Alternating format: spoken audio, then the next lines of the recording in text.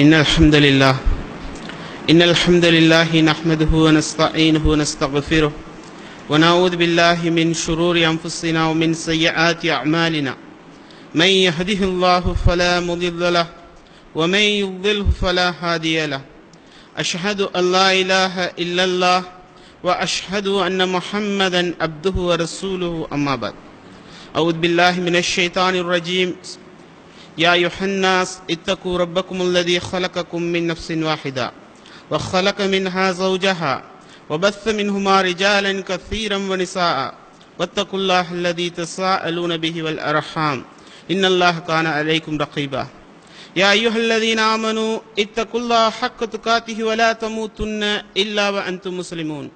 يا أيها الذين آمنوا اتقوا الله وقولوا قولا سديدا يصلح لكم أعمالكم ويغفر لكم ذنوبكم ومن يطع الله ورسوله فقد فاز فوزا عظيما إن أصدق الحديث كتاب الله وأحسن الحديث حديث محمد صلى الله عليه وسلم وشر الأمور محدثاتها وكل محدثة بدعة وكل بدعة ضلالة وكل ضلالة في النار வார்த்தைகளில் உண்மையானது அல்லாஹுடைய வார்த்தை வழிகாட்டுதல்களில் சிறந்தது அல்லாஹ்வின் தூதர் முஹம்மது சல்லுல்லாஹு அலஹி வசல்லம் அவர்களது வழிகாட்டுதல். செயல்களில் கெட்டது மார்க்கத்தின் பெயரால் உருவாக்கப்படும் புதுமைகள். மார்க்கத்தின் பெயரால் உருவாக்கப்படும் புதுமைகள் அனைத்தும் விதாத்துக்கள் அனைத்து விதாத்தும் வழிகேடு வழிகேடு நம்மை நரகுக்கே இட்டுச் செல்லும் என்று அல்லாஹ்வின் தூதர் முஹம்மது சல்லல்லாஹு அலஹி வசல்லம் அவர்கள் தனது ஒவ்வொரு உரையிலும் சொன்ன அந்த எச்சரிக்கையை நானும் இந்த இடத்திலே எடுத்துச் சொன்னவனாக ஜும்மாவுடைய உரையை ஆரம்பம் செய்கிறேன். முதலாவதாக அல்லாஹுவால் விதிக்கப்பட்டிருக்கும் ஜும்மாவுடைய கடமையை நிறைவேற்றுவதற்காக வேண்டி இறை இல்லத்தில் உங்களையும் என்னையும் ஒன்றிணைத்த அல்லாஹுக்கே எல்லா புகழும் அலமதுல்லா அன்புக்கணிய சலாமிய சகோதரர்களே தாய்மார்களே அல்லாஹனுடைய மார்க்கமாகிய இஸ்லாமிய மார்க்கத்தை நாம் நம்முடைய வழிகாட்டுதலாக பின்பற்றி வாழக்கூடிய மக்களாக இருந்து கொண்டிருக்கிறோம். இஸ்லாம் என்பது எம்முடைய மார்க்கம். அந்த மார்க்கம் எதை எமக்கு சொல்லுகிறதோ அதை நாம் நம்முடைய வாழ்க்கையில் கடைபிடிக்க வேண்டும். எதை விட்டு அது நம்மை விலகி நிற்க சொல்கிறதோ அவைகளை விட்டு நாம் விலகி நிற்க வேண்டும் என்ற ஒரு ஒப்பந்தத்தின் அடிப்படையில் நாமெல்லாம் இஸ்லாமியர்களாக முஸ்லிம்களாக இந்த உலகத்திலே வாழ்ந்து வருகின்றோம். அன்புக்கணி இஸ்லாமிய சகோதரர்களே தாய்மார்களே இந்த இஸ்லாமிய மார்க்கம் இன்றைக்கு நம்மை வந்து அடைந்திருக்கிறது என்று சொன்னால் அதனுடைய அப்பலுக்கற்ற தன்மை மாறாமல் தூய்மையான முறையில் இறைவன் நமக்கு எதை தந்தானோ அதே வழியில் அழகான முறையில் இன்றைக்கு நம் அனைவரையும் இந்த மார்க்கம் வந்தடைந்திருக்கிறது என்று சொன்னால் அப்படி வந்து அடைவதற்காக வேண்டி அந்த மார்க்கத்தை இன்றளவுக்கும் நம்மிடம் வந்து கொண்டு சேர்ப்பதற்காக வேண்டி இந்த உலகத்திலே இறைவன் எத்தனையோ மனிதர்களை எத்தனையோ மனிதர்களுடைய வாழ்க்கையை இந்த இஸ்லாத்திற்காகவே அர்ப்பணமாக ஆக்கியிருக்கிறான். அன்புக்கினி இஸ்லாமிய சகோதரர்களே நாமெல்லாம் இப்பொழுது இருக்கக்கூடிய காலகட்டத்தை பொறுத்தவரைக்கும் மிகவும் இந்த மார்க்கத்தில் லேசான கட்டத்தில் இருக்கிறோம். உலகத்தில் நம்ம எந்த ஒரு வேலையை செய்வதாக இருந்தாலும் எந்த ஒரு வேலையை ஆரம்பித்தாலும் அதனுடைய ஆரம்பம் கஷ்டமாக இருக்கும். போக போக அந்த ஆரம்பம் கொஞ்ச காலத்துக்கு பிறகு அது பழசாக கூடிய சந்தர்ப்பத்தில் அது ஒரு லேசான ஒன்றாக மாறிவிடும். ஒரு தொழிலாக இருக்கலாம் ஒரு படிப்பாக இருக்கலாம் இல்ல உலகத்தில் உள்ள என்ன ஒரு விஷயமாக இருந்தாலும் சரி அதை ஆரம்பிக்கக்கூடிய சந்தர்ப்பத்தில் அதனுடைய ஆரம்பங்களிலே கஷ்டப்படக்கூடிய நிலை இருக்கும். ஆனால் பிற்காலத்திலே நமக்கு பெரிய ஒரு கஷ்டம் வராது. அதே போன்றுதான் அன்புக்கணி இஸ்லாமிய சகோதரர்களே இன்றைக்கு இஸ்லாத்தை நாம் எப்படி இருந்து இஸ்லாத்தில் எப்படி இருந்து கொண்டிருக்கிறோம் என்று சொன்னால் மிகவும் லேசானவர்களாக இருந்து கொண்டிருக்கிறோம். அல்லாஹனுடைய இந்த கொள்கையை கொண்டு வந்த அந்த ஆரம்ப கட்டத்தில் இறை தூதர் கொண்டு வந்து அவர்களிடமிருந்து சஹாபாக்கள் சஹாபாக்களிடமிருந்து தாபியன்கள் தபா தாபியன்கள் இமாம்கள் என்று அந்த சமுதாயத்தினர்கள் இந்த இஸ்லாத்திற்காக வேண்டி கடுமையான கஷ்டத்தை பட்டார்கள் அல்லாஹ் திருமணை குர்ஆனில் சொல்லி தருவான் அல்லவா இன்னமல் உஸ்ரி யுஸ்ரா கஷ்டத்திற்கு பிறகுதான் லேசி இருக்கிறது. லேசி என்பது எப்ப கிடைக்கும்னு கேட்டா மிகவும் கஷ்டப்பட்டதுக்கு பிறகுதான் இருக்கிறது. நம்ம அந்த யுஸ்ர் லேசான காலத்தில் இருந்து கொண்டிருக்கிறோம். ஆனால் நமக்கு முன் சென்ற பல சமூகத்தினர்கள் கஷ்டமான காலத்தில் இஸ்லாத்தை எடுத்து வைத்தவர்கள். இன்றைக்கு நமக்கு மிகப்பெரிய ஒரு சவால் கிடையாது. இஸ்லாமிய மார்க்கத்தை பட்- படிப்பதற்கும் படித்து கொடுப்பதற்கும் இஸ்லாத்தின் பக்கம் மக்களை அழைப்பதற்கும் அதன் பக்கம் மக்களை நாம் நம்முடைய கொள்கையால் கவர்வதற்காக வேண்டி பிரச்சாரங்கள் செய்வதற்கும் இன்றைக்கு லேசான முறையில் நாம் செய்து கொண்டிருக்கிறோம். ஆனால் அல்லாஹ்வின் தூதர் சல்லல்லாஹு அலைவசல்லம் அவர்கள் அதை கொண்டு வந்த அந்த ஆரம்ப கட்டத்திலே அல்லாஹ்வுடைய தூதர் சல்லல்லாஹு அலைவசல்லம் வஸல்லம் அவர்களுடைய மரணத்துக்கு பிறகு ஒரு சில காலங்கள் ஒரு சில நூற்றாண்டுகளிலே நம்முடைய சமுதாயம் மிகவும் கஷ்டங்களை மிகவும் சிரமங்களுக்கு உள்ளானது. அது மாத்திரம் கிடையாது. ரசூல்லா மூத்தாகி ஒவ்வொரு ஜெனரேஷன்லையும் பல பேர் கஷ்டப்பட்டார்கள். நம்முடைய காலத்தில் கூட ஒரு நாற்பது முப்பது வருடங்களுக்கு முன் இருபது வருடங்களுக்கு முன் அல்லாஹனுடைய கொள்கையை குரானை சுன்னாவை மக்களிடத்தில் சொல்வதாக இருந்தால் பல இடங்களில் அடி வாங்க வேண்டிய தேவை இருந்தது. பல மக்களிடத்தினால் திட்டு வாங்க வேண்டிய தேவை இருந்தது. பல கஷ்டங்களையும் இன்னல்களையும் நாம் சுமக்க வேண்டிய தேவை இருந்தது. அதனால் விரல் விற்று எண்ணக்கூடிய ஓரிரண்டு பேர் அல்லாஹனுடைய கொள்கையை சொல்லிக் கொண்டிருந்தார்கள். நிறைய பேர் அதை விட்டு விலகி நின்றார்கள். காரணம் என்னவென்று சொன்னால் சோதனைக்கு மேல் சோதனை போதனையை இஸ்லாத்தை தூய்மையாக எடுத்துச் சொல்லக்கூடியவனின் பக்கம் இந்த கொள்கை தந்து கொண்டிருக்கிறது என்பதுதான் உண்மை. அன்புக்கணி இஸ்லாமிய சகோதரர்களே நீங்கள் அல்லாஹ்வுடைய தூதர் சல்லல்லாஹு அலைஹி வஸல்லம் அவர்களை எடுத்துக்கொள்ளுங்கள் இஸ்லாத்தை போதிக்கும் வரைக்கும் அல்லாஹுடைய தூதருக்கு அந்த மக்கத்து மண்ணிலே மிகப்பெரிய நல்ல பேரை காவிர்களிடம் இருந்தது. அந்த காவிர்கள் இறை தூதரை பார்த்து அமீன் என்றார்கள் சித்திக் என்றார்கள் உண்மையாளர் நம்பிக்கையாளர் என்று பெயர் சொன்னார்கள். ஆனால் அதே மனிதர்கள் அல்லாஹனுடைய தூதரை எங்களுடைய தலைவராக ஏற்க முடியும். முகம்மது என்ற அந்த ஒரு மனிதரை. இவரை தூதராக முகமது ஸல்லல்லாஹு அலைஹி வசல்லம் அவர்கள் ஆவதற்கு முன் அதை பிரகடனம் செய்வதற்கு முன் அதை மக்கள் மத்தியிலே எடுத்துச் சொல்வதற்கு முன் அந்த மக்கள் அவரை எப்படி பார்த்தார்கள் என்று சொன்னால் எங்களிலே சிறந்த குடும்பத்தில் உள்ளவர். கபா என்ற புனித ஆலயத்தை நிர்வாகம் செய்யக்கூடிய எங்களுடைய குடும்பத்தில் இருக்கக்கூடிய முக்கியமான ஒரு மனிதர். சிறந்த மனிதர் சிறந்த குடும்பம் சிறந்த கு- குணநலம் அனைத்திலும் சிறந்திருக்கக்கூடிய ஒரு மனிதர் எங்களில் சிறந்தவர் என்று சொல்லிக் கொண்டிருந்தார்கள். அவரை அந்த அளவுக்கு அன்பு பாராட்டி கொண்டு மேன்மைப்படுத்திக் கொண்டிருந்த சமுதாயம் தான் அல்லாஹுவின் தூதர் ஸல்லல்லாஹு அலைஹி வசல்லம் அவர்கள் ஒரு மலையின் மீது ஏறிக்கொண்டு தன்னுடைய பிரச்சாரத்தை ஆரம்பித்தார்கள் அல்லவா? அந்த மக்களை அழைத்து ஏகத்துவத்தினுடைய அடிப்படையை விளக்க ஆரம்பித்ததுமே குடும்பத்திலிருந்தே ரசூல்லாவுக்கு எதிர்ப்பு வந்தது. குடும்பத்தில் இருந்தே அல்லாஹ்வுடைய தூதரை நோக்கி எதிர்ப்பு வந்தது. குடும்பத்தினர்கள் நபிகள் நாயகம் ஸல்லல்லாஹு அலைஹி வசல்லம் அவர்களுக்கு எதிராக நின்றார்கள். அபூலஹப் லஹப் தூதருடைய குடும்பத்தார் நபி அவர்களுடைய சிறிய தந்தை அல்லது பெரிய தந்தை அபூ லஹப் முதலில் மண்ணை வாரி தூக்கி எறிவதை நாம் பார்க்கிறோம். அதனால் தான் அல்லாஹ் திருமறை குரானிலே தப்பத்தியத யதா அபீ லஹபின் இரண்டு கைகளும் நாசமாகி போகட்டும் என்று அல்லாஹ் திருமறை குரானுடைய வசனத்தை இறக்குகிறான். ஏன் என்று சொன்னால் அல்லாஹுவின் தூதர் சல்லல்லாஹு அலைஹி வசல்லம் அவர்கள் இந்த கொள்கையை குரானை சுன்னாவை அந்த மக்களிடத்திலே தன்னுடைய குடும்பத்திலே முதலில் ஆரம்பிக்கிறார்கள் எடுத்து சொல்கிறார்கள். சொன்னதின் விளைவு அவ்வளவு ரசூல்லாவோடு இரக்கம் காட்டிக் கொண்டிருந்தவர்கள் நேசம் பாராட்டிக் கொண்டிருந்தவர்கள் ரசூலுல்லாஹி ஸல்லல்லாஹு அலைஹி வஸல்லம் அவர்களுக்கு எதிராக வந்து நின்றார்கள். அன்புக்கணி அஸ்லாமிய சகோதரர்களே ஏகத்துவத்தினுடைய வரலாறு குரான் சுன்னாவை சொன்ன மக்களுடைய வரலாறு நமக்கு இதைத்தான் படித்து தருகிறது. இந்த வரலாறு முழுவதிலும் கஷ்டம் தான் இருக்கிறது. சிரமங்கள் தான் இருந்து கொண்டிருக்கிறது. சிரமங்களில் தான் இந்த இஸ்லாம் என்ற மிகப்பெரிய ஒரு மாளிகை கட்டமைக்கப்பட்டுள்ளது. குரானும் சுண்ணாவும் சுண்ணாவும் இன்றை இன்றைக்கு நம்மை வந்து அடைந்திருக்கிறது என்று சொன்னால் நாம் அதை இலகுவாக இன்று படிக்கக்கூடிய ஒரு காலத்தில் இருக்கிறோம். இலகுவாக அதை பார்க்கக்கூடிய ஒரு காலத்தில் இருக்கிறோம். ஆனால் அதற்காக வேண்டி எத்தனையோ மனிதர்கள் எத்தனையோ நல்ல உள்ளங்கள் பல கஷ்டங்களையும் சோதனைகளையும் துன்பங்களையும் தாங்கிக் கொண்டே இருந்தார்கள். ஏன் என்று சொன்னால் இஸ்லாம் வளர வேண்டும். தன்னுடைய வாழ்க்கையை பற்றி அவர்கள் கணக்கெடுக்கல. தன்னுடைய வாழ்க்கையின் உயர்வை பற்றி அவர்கள் நினைக்கவில்லை. உலகத்தின் உயர்வுகள் அனைத்தையும் துச்சமாக மதித்தார்கள். அதையெல்லாம் தூக்கி ஒருபுறம் வைத்தார்கள். குடும்பத்திலே வரக்கூடிய பிரச்சனைகள் ஊரில் வரக்கூடிய பிரச்சனைகள் எல்லாவற்றிலும் இருந்து விடுபட்டு நின்றார்கள். அவைகளை பற்றி கவலைப்படவில்லை. என்ன பிரச்சனை வந்தாலும் என்ன கஷ்டம் வந்தாலும் என்னுடைய மார்க்கமாகிய இந்த இஸ்லாத்தை குரானை சுன்னாவை இறைவன் தந்த இந்த கொள்கையை மக்களிடத்திலே நான் எடுத்து சொல்ல வேண்டும் எடுத்து வைக்க வேண்டும் எடுத்து வைப்பதற்காக வேண்டி எனக்கு வருகின்ற எல்லா கஷ்டங்களையும் நான் தாங்கிக் கொள்ளக்கூடிய ஒரு மனிதனாக இருப்பேன் என்று இந்த குரான் சுன்னாவை மக்கள் மன்றத்திலே எடுத்து சொல்லக்கூடிய அறிஞர்கள் ஆலிம்கள் அந்த நன்மக்கள் இருந்தார்கள். அன்புக்கினிய இஸ்லாமிய சகோதரர்களே நாம் பார்க்கிறோம். அவர்களுடைய வரலாறுகள் நமக்கு பலவிதமான விஷயங்களை சொல்லித் தருகிறது. பலவிதமான நல்ல விஷயங்களை இஸ்லாமிய வரலாறு நமக்கு புகட்டுகிறது. இந்த உலகத்திலே சிறந்த சமுதாயத்தை உருவாக்கியது இஸ்லாம். அல்லாஹ்வின் தூதர் சல்லல்லாஹு அலைஹி வசல்லம் அவர்கள் கொண்டு வந்த இந்த தூய்மையான கொள்கை சிறந்த ஒரு சமுதாயத்தை உருவாக்கி விட்டு சென்றது. அவர்கள் பசியிலும் பட்டினியிலும் கஷ்டப்பட்டது எதற்கு தெரியுமா? எவ்வளவு கஷ்டங்களை அவர்களை நோக்கி வந்தாலும் அதைகளை தாங்கிக் கொண்டது எதற்கு தெரியுமா? குரானையும் சுன்னாவையும் நடைமுறைப்படுத்த வேண்டும். அடுத்த மக்களுக்கு அவர்களை தொடர்ந்து வரக்கூடிய மக்களுக்கு அதை சரியான முறையில் எடுத்து சொல்ல வேண்டும். இந்த அடிப்படைக்காக வேண்டித்தான் சகோதரர்களே. இந்த அடிப்படையை நிலைநிறுத்திக் கொள்வதற்காக வேண்டித்தான் தங்கள் உயிர்களாலும் உடைமைகளாலும் கஷ்டங்களை அவர்கள் சுமந்தார்கள்.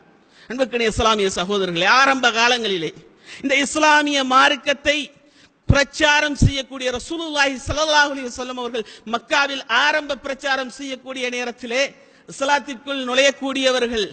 இது யார் யார் நுழைந்தார்கள் என்று நாம் எல்லாம் படித்திருப்போம். அதில் மிகவும் முக்கியமாக பிலால் ரலியல்லாஹு அவர்கள் அம்மார் அல்லாஹூன் அவர்கள் அதே போன்று அம்மார் அல்லாஹூன் அவருடைய மகன் யாசிர் ரலியல்லாஹு அவர்கள் அவருடைய மனைவி அம்மார் அவர்களுடைய மனைவி சுமையா ரலி அல்லாஹூன்ஹா அவர்கள் அதே போன்று ஹப்பாப் பின் அரத் அவர்கள் ரலியல்லாஹு அவர்கள் இப்படி இஸ்லாத்திற்குள்ளே ஒரு வட்டம் வந்தது சகோதரர்களே ஆனால் அவர்கள் யார் என்று சொன்னால் அடிமைகள் அன்றைக்கு.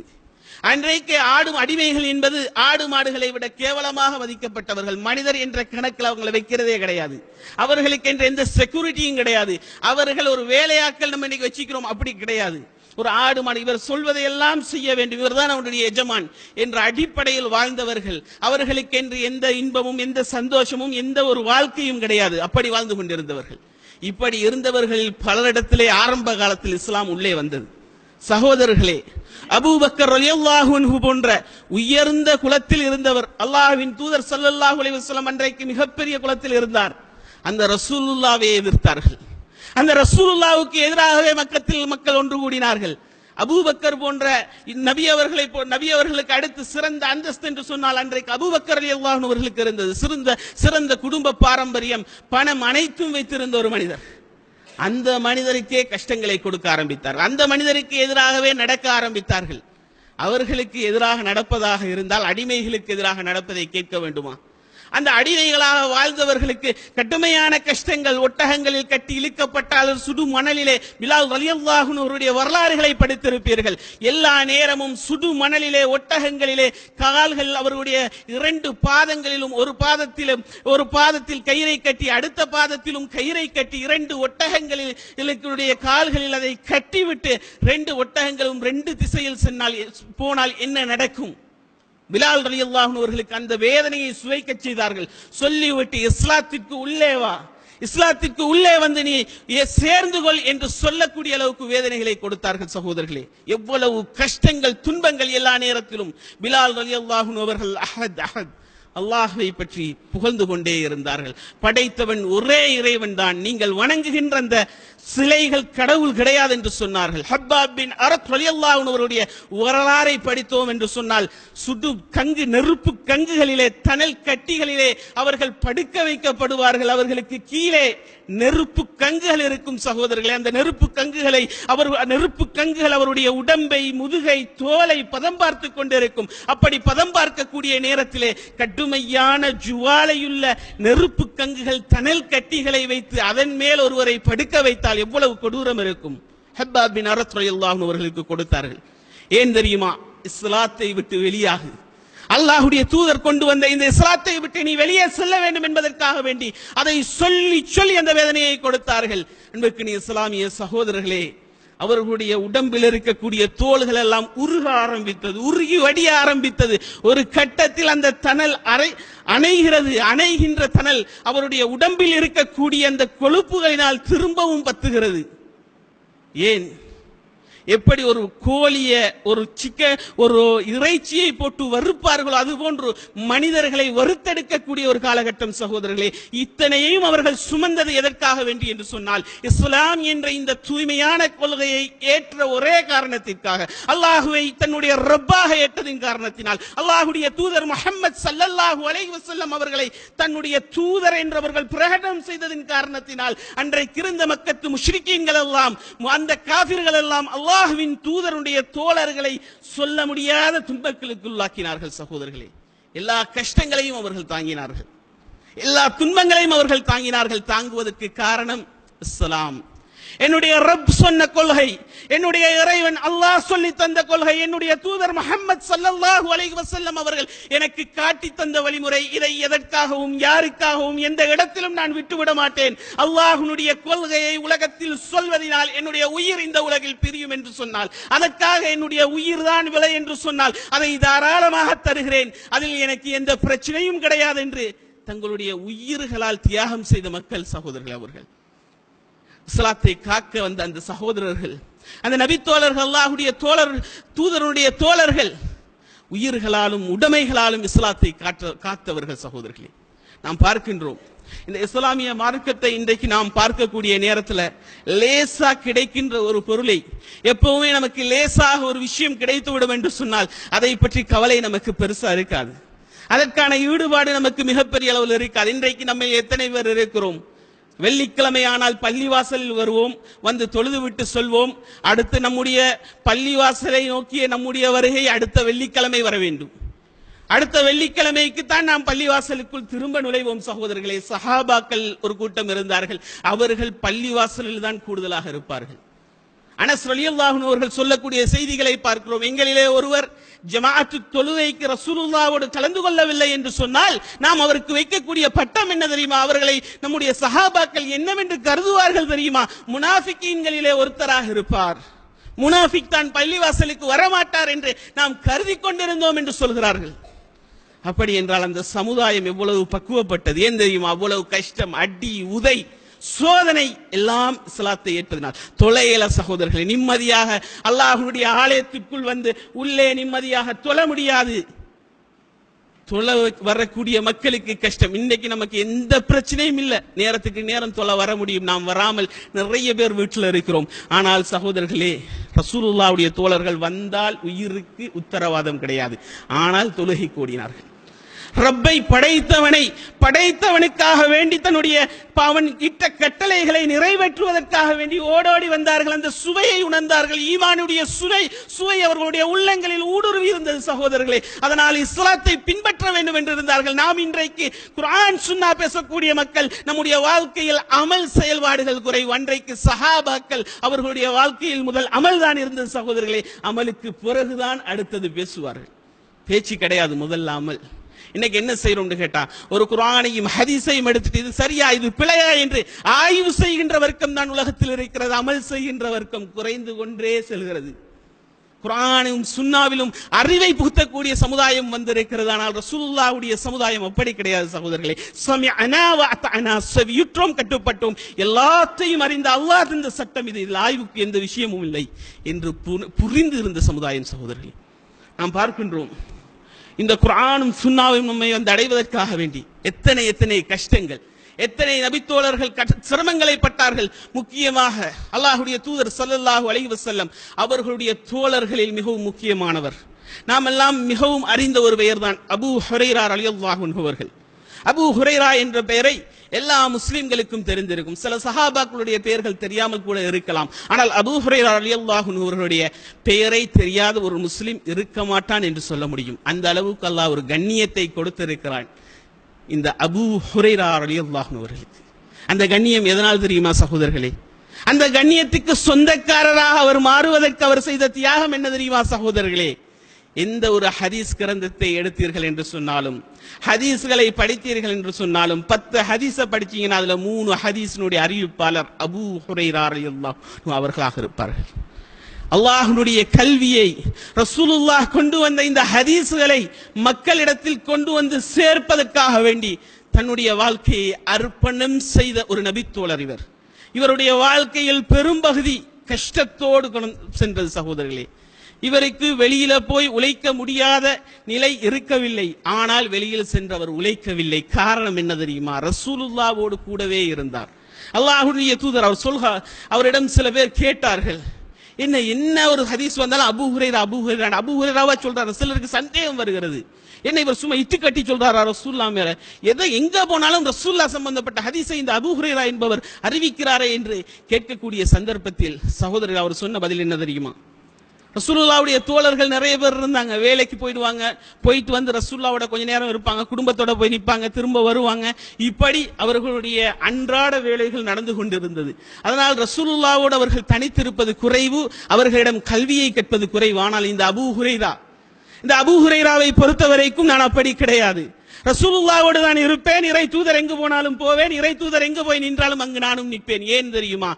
இஸ்லாமிய கல்வியை படித்துக் கொள்ள வேண்டும் என்பதற்கு. என்னுடைய வயிற்றுக்கு ஒரு நாளைக்கு சாப்பிட்டா இன்னொரு நாள் சாப்பிடாடி கூட பிரச்சனை இல்லை. அல்லாஹனுடைய மார்க்க கல்வியை கற்றுக்கொள்ள வேண்டும் என்பதற்காக வேண்டி பசியோடு இறை தூதரோடு சுற்றியவன் நான். அன்புக்கு இஸ்லாமிய சகோதரர்களே எவ்வளவு பசி தெரியுமா? எவ்வளவு கஷ்டங்கள் தெரியுமா? அபு ஹுரைரா அவர்கள் சம்பந்தப்பட்ட ஒரு செய்தி வருகிறது. அவர் சொல்கிறார் ஆல்லாஹில்லதிலா இலாஹ இந்த அல்லாஹுவை தவிர வேறு இறைவன் இல்லையோ அவன் மீது ஆணையாக நான் சொல்கிறேன்.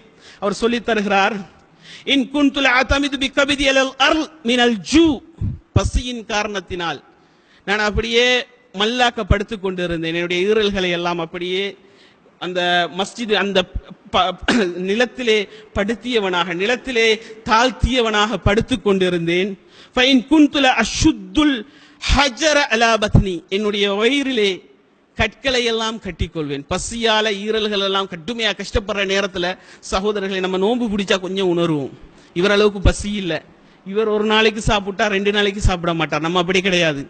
நம்ம மிஞ்சி போனா சுபகுல நாலு அஞ்சு மணிக்கு சாப்பிடுவோம் நாலரைக்கு சாப்பிட்டோம்னு சொன்னா மகரிபு வரைக்கும் ஒரு குறுகிய குறுகிய நேரம். அந்த நேரத்துக்குள்ள நமக்கு ஒரு மூணு நாலு மணி ஆகுற நேரத்துல அஞ்சு மணி ஆயிட்டு வர நேரத்துக்குள்ள நல்ல ஒரு பசி வரும். பசி வார நேரத்தில் தாங்கல ஒரு இடத்துல நிக்கலா எலும்பேலா ஒரு இடம் போகலா ஒரு வேலையை செய்யலா சுருண்டு பார்ப்போம் புரண்டு பார்ப்போம் படுத்து பார்ப்போம் நம்முடைய வயிறை அப்படியே தாழ்த்தி பார்ப்போம். இந்த வேலையை தான் அவர் சொல்கிறார். நான் என்னுடைய வயிற்றை அப்படியே தாழ்த்தி கொண்டு படுத்து கொண்டிருப்பேன் அது மாத்திரம் கிடையாது. அவர்கள் அதோடு மட்டும் நிற்கவில்லை சகோதரர்களே. நான் என்னுடைய வயிற்றிலே கற்களை கட்டி கொண்டிருப்பேன். ஏன் தெரியுமா? பசி விளங்காம இருக்கிறதுக்கு. ஒரு நாள் ரெண்டு நாள் இப்போ ஒரு ஒரு நாள் சாப்பிடாதவர்களுக்கு வயிற்றிலே கல்லை கட்ட வேண்டிய அவசியம் இல்லை. ஒரு ஒரு ஒரு சில நாட்கள் ஒரு இரண்டு நாட்கள் சாப்பிடவில்லை என்று சொன்னால் மனிதனுக்கு முழுவதுமாக அவனுடைய பலம் இழந்துவிடும்.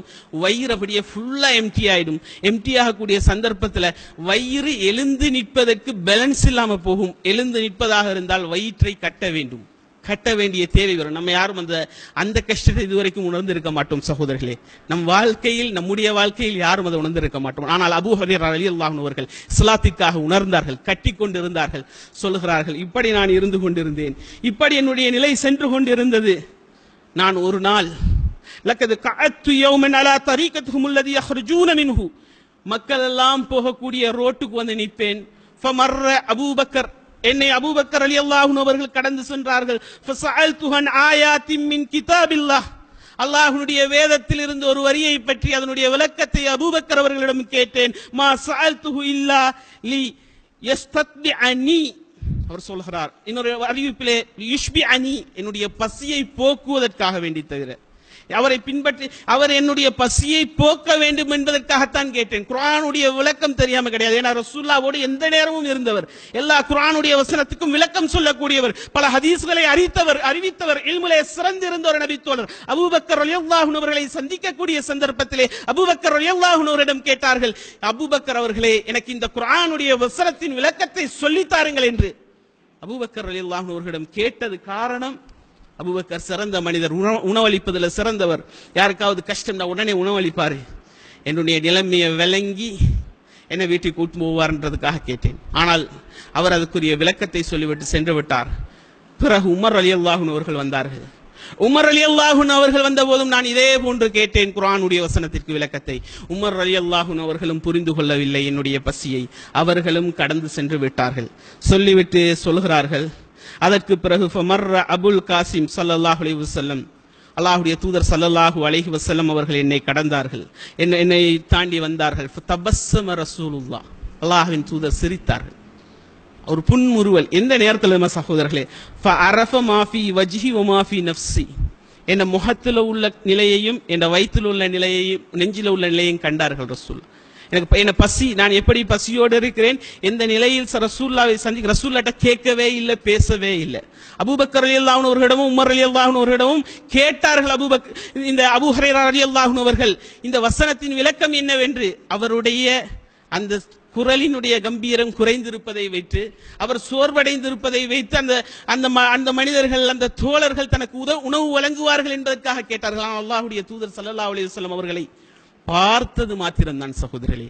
ரசூல்லாட்ட போய் கிட்ட போய் இந்த வசனத்துக்கு விளக்கம் சொல்லுங்கன்னு கேட்கல. தலை நம்முடைய தலைவர் மிகச் சிறந்தவர் தன்னுடைய தோழர் எப்படி இருக்கிறார் என்பதை அவ்வளவு அறிந்து வைத்திருக்கக்கூடிய அற்புதமான தலைவர் சகோதரர்களே. தூரத்திலிருந்து அபூபக்கா அபூ ஹுரைரா ரலியல்லாஹு அவர்களை பார்க்கிறார். பார்த்ததும் புரிந்து விட்டார். அபூ ஹுரேரா அவர்கள் பசியோடு இருக்கிறார். ரசூலுல்லா சிரித்தார்கள்.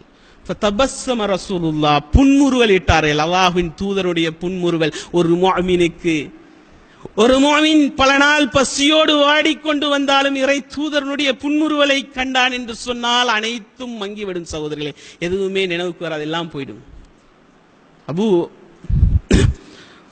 அபூ அலி அல்லாஹூன் அவர்கள் அல்லாஹ்வுடைய தூதர் சல்லாஹூ அலைஹி வஸல்லம் அவர் சொல்கிறார்கள் ரசூலுல்லா என்ன நான் எந்த நிலையில் இருக்கிறேன்? என்ன அறிஞ்சிக்கிட்டாங்க வர சொன்னாங்க.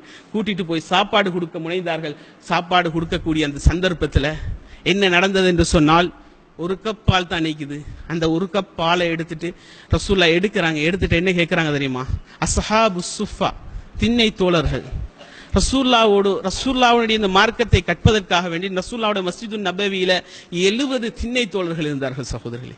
குடும்பம் கிடையாது மனைவி கிடையாது உறவுகள் கிடையாது. அவர்கள் அன்றைக்கு அனாதை போன்றிருந்தாலும் இஸ்லாத்தில் அவர்கள் அனாதைகள் கிடையாது. கொள்கையாக உறவாக அல்லாஹின் தூதர் அவர்களே அவர்களுக்கு இருந்தார்கள். அந்த நபித்தோழர்கள் அந்த உப- அபூபக்கர் உமர் ரலியல்லாஹு போன்ற பல நபித்தோழர்கள் அண்ணன் தம்பிகளாக அவர்களுடைய உறவுகளாக அவர்களோடு ஒன்றிணைந்திருந்தார்கள். அந்த எழுபது தோழர்களுக்கும் இதே நிலைமைதான் சகோதரர்களே. அபு ஹுரேர் அலி அவர்கள் போன்று பசியோடும் பட்டினியோடும் தான் மார்க்கம் சொல்ல வேண்டிய தேவை அவங்களுக்கு இருந்துச்சு. அந்த தேவையோடு தான் அவர்கள் இருந்தார்கள் சகோதரர்களே. அப்படி இருக்கக்கூடிய சந்தர்ப்பத்தில் ஏதாவது ஒரு அன்பளிப்பு ரசூல்லாக்கு வந்து சேரும் என்று சதக்கா ரசூல்லாய் ஸல்லல்லாஹு அலைஹி அவர்களுக்கு சதக்கா வந்தால் முழுவதுமா அவங்களுக்கு கொடுத்துருவாங்க. சதக்கா ரசூல்லா கிடைக்கலாம் அன்பளிப்பு வரும் என்று சொன்னால் ரசூல்லா கொஞ்சம் அதை யூஸ் பண்ணிட்டு தோழர்களுக்கு கொடுப்பார்கள். வந்த அன்பளிப்பு நபி அவர்கள் சொல்கிறார்கள் அபூபக்கர் அபு அபூ ஹுரைரா ரலியல்லாஹு அவர்களை பார்த்து என்னுடைய அஸ்ஹாபு சுஃபா திண்ணை தோழர்களை அழைத்து வாருங்கள். எப்படி இருக்கும் சகோதரர்களே? பசியோடும் பட்டினியோடும் வயிற்றுல ஒன்றுமே இல்லாத நிலையில அபூ ஹுரைரா ரலியல்லாஹு அவர்கள் ரசூல்லாவை நாடி வந்தீராங்க. அந்த நேரத்தில் ஒரே ஒரு கிளாஸ் பால் தான் நிற்கிது அந்த பாலை எடுத்துக்கொண்டு ரசூல்லாய் சல்லாஹ் அலி வல்லம் மற்ற தோழர்களை எல்லாம் அழைச்சிட்டு வர சொன்னா அங்க எழுபது பேர் இருப்பாங்கல்ல. அபு ஹுரைராவை சேர்த்தால் 69 வைங்க. அவ்வளவு நபித்தோழர் வந்தால் ஒரு கிளாஸ் பால்.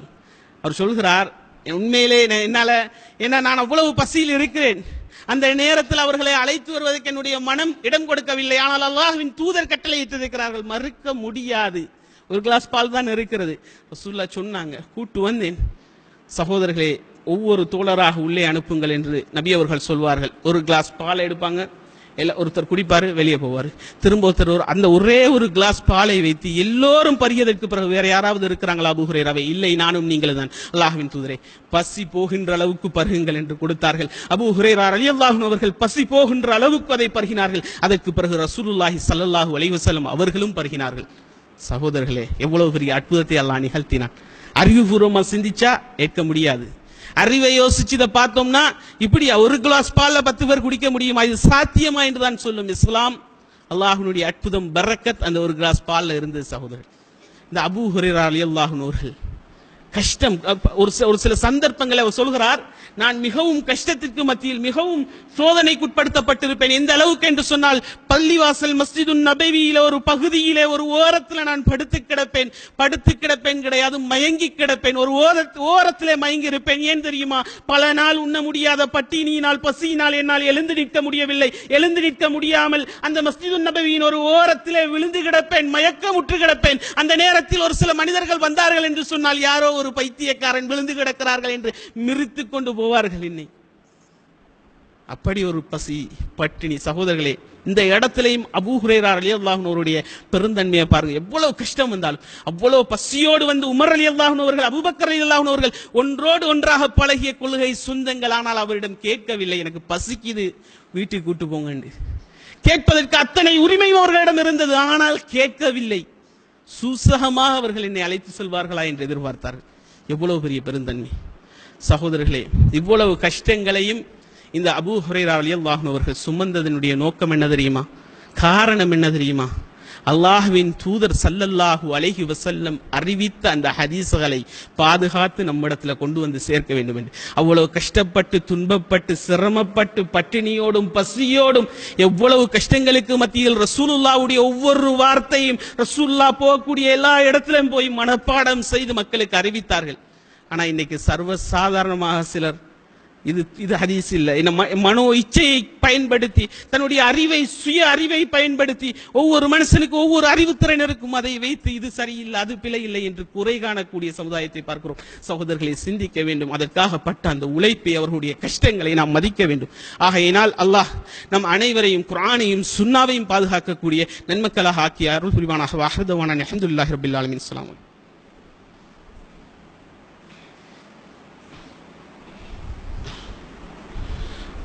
அன்புக்கணி இஸ்லாமிய சகோதரர்களே இப்படி பல பேருடைய வாழ்க்கையை நாம் சொல்லித் தரலாம்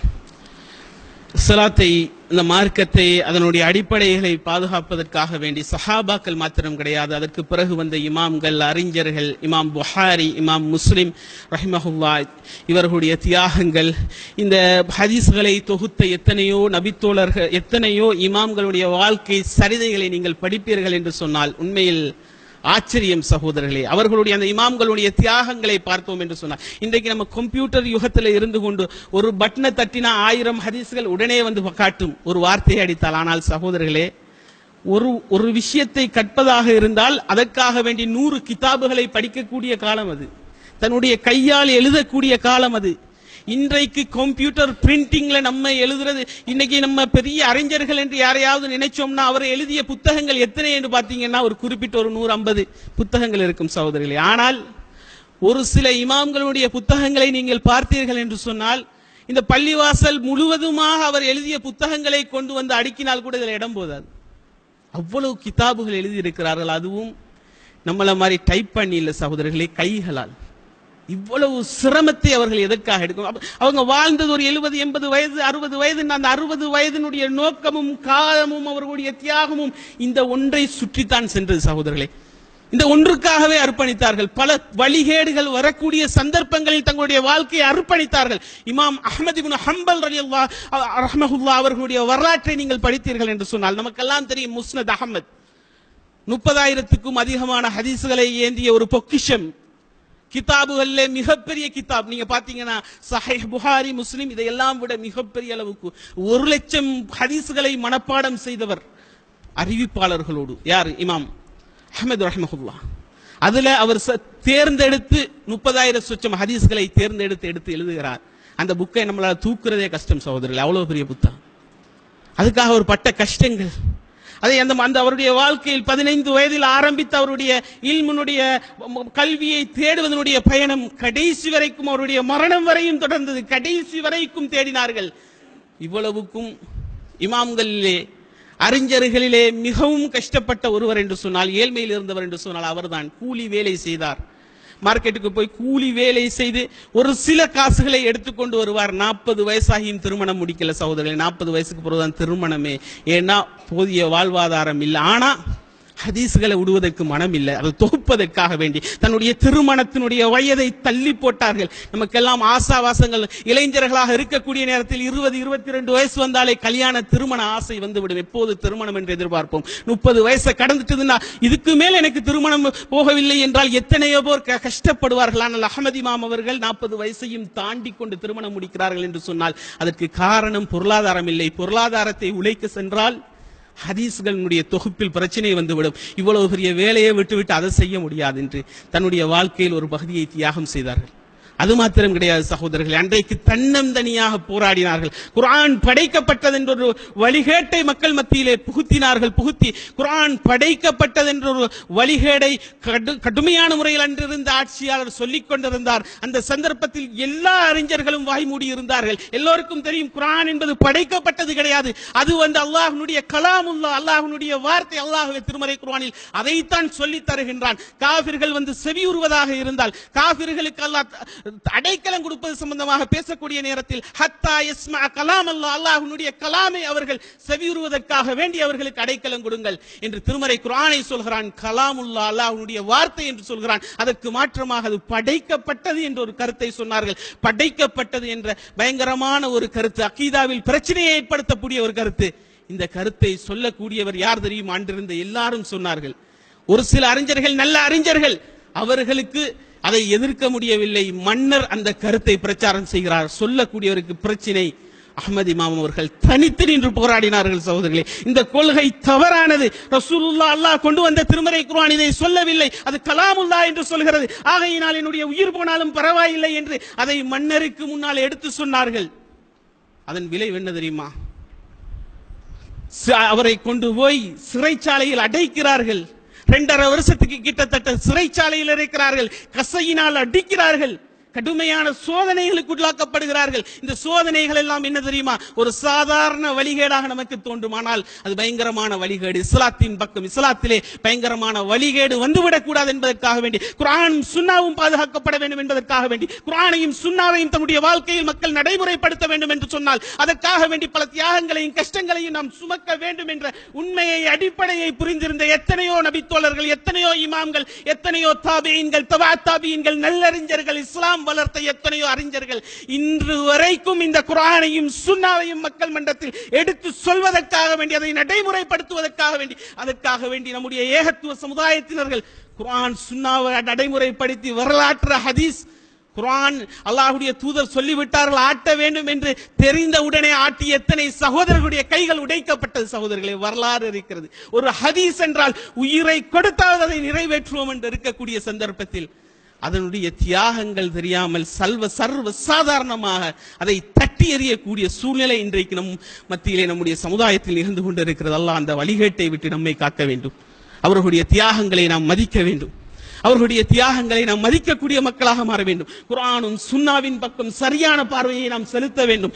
அல்லாஹுடைய இந்த மார்க்கத்தை கஷ்டத்தோடும் துன்பத்தோடும் சொன்னால் கண்டிப்பாக சிரமம் வரும். அம் ஹசிப்தும் அன் ததுகுல் ஜன்னா வலம்மா யஅதீக்கும் மஸல்லதீன ஹலவு மின் கபலிக்கும். மஸ்ஸத்துஹுமுல் பஅஸா வல்லர்ராவ். உங்களுக்கு முன் சென்றவர்களுக்கு ஏற்பட்டது போன்ற சிரமம் கஷ்டம் இல்லாமல் சுருக்கத்தை அடையலாம் என்று நினைக்கிறீர்கள். மஸ்ஸத்துஹுல் பஅஸா வல்லர்ராவ் அவர்களுக்கு பசி பட்டினி கஷ்டம் எல்லாம் ஏற்பட்டது. சுல்சிலு அவர்கள் ஆட்டுவிக்கப்பட்டார்கள். ஹத்தா யகூலர் ரசூல் அந்த இறை தூதரும் வல்லதீனமாக அந்த இறை தூதரோடு இருந்த அவர்களுடைய தோழர்களும் மதா நஸ்ருல்லா அல்லாஹ்வின் உதவி எப்போது எங்களை நோக்கி வரும் என்று அவர்கள் கேட்கின்ற வரைக்கும் அந்த வேதனைகள் கஷ்டங்கள் அவர்களுக்கு இருந்து கொண்டுதான் இருந்தது. இறை தூதரிலே சில வேதனையை அல்லாஹுடைய உதவியை கேட்க மாட்டார். ஒரு நபிக்கு கடுமையான முறையில் அவருடைய சமுதாயத்தினர்கள் அடிக்கிறார்கள். அடிக்கக்கூடிய சந்தர்ப்பத்தில் அவர் பிரச்சாரம் செய்கிறார். அல்லாஹுவை மட்டும் வணங்க வேண்டும் என்று சொல்கிறார். அதற்காக வேண்டி அவருடைய முகத்தில் பட்ட அடி அவருடைய தலை மண்டை எல்லாம் உடைகிறது. சகோதரர்களே முகம் அப்படியே ரத்தத்தால் மூழ்கியவராக ரத்தம் வழிந்து கொண்டிருக்கிறது. அந்த ரத்தத்தை கையில் ஏந்தியவராக துடைத்தவராக யா அல்லாஹ் என்னுடைய இந்த சமுதாயத்துக்கு நீ நேர்வழியை காட்டு என்று பிரார்த்தித்தார்கள். அல்லாவிடம் உதவியும் கேட்கவில்லை அவர்களுக்கு அழிவையும் கேட்கவில்லை. அப்படி உள்ள நபிமார்கள் தங்களுக்கு உதவி வேண்டும் என்று சொல்கின்ற அளவுக்கு க- கஷ்டப்படுத்தப்பட்டார்கள் என்று சொன்னால் நாம் ஒண்ணுமே படுத்தப்படவில்லை. எந்த கஷ்டமும் இல்லாமல் சொகுசாக தான் வாழ்ந்து கொண்டிருக்கிறோம். ஆகவே அன்புக்கணி இஸ்லாமிய சகோதரே இஸ்லாம் என்ற இந்த தூய்மையான மார்க்கத்தை எடுத்து நாம் பின்பற்றக்கூடிய மக்களாக அதை நடைமுறைப்படுத்தக்கூடிய மக்களாக அதற்காக நம்முடைய வாழ்க்கையை அர்ப்பணம் செய்யக்கூடிய மக்களாக குரானும் சுன்னாவும் எதை சொல்கிறதோ செவியுற்றோம் கட்டுப்பட்டோம். மா காணலி மாமினின் வலா முஃமினத்தின் முஃமினான ஆணுக்கும் முஃமினான பெண்ணுக்கும் இதா அல்லாஹு வர சூலுகம் அல்லாஹும் அல்லாஹு அல்லாஹ்வுடைய தூதர் ஒரு விஷயத்தை முடிவெடுத்து சொல்லி விடுவார்கள் என்றால் ஐயா லஹுமுல் ஹியரத்து மினம்பருகி வந்த விஷயத்தில் சுய விருப்பம் கொள்ள முடியவே முடியாது என்று அல்லாஹ் சொல்கிறான். அப்படி சுய விருப்பம் கொள்ளாதவர்களாக குரானுக்கும் ஹதீஸுக்கும் அடிவடைந்தவர்களாக சரணடைந்தவர்களாக வல்ல நாயனுடைய அந்த காலடியில் விழக்கூடிய மக்களாக அல்லா நம் அனைவரையும் ஆக்கி அருள் புரிவானாக. வாஹ்ருதவானான் அலமதுல்லாஹி ரபில் ஆலமின். அஸ்ஸலாமு அலைக்கும் வரமத்துல்லாஹி வரகாத்து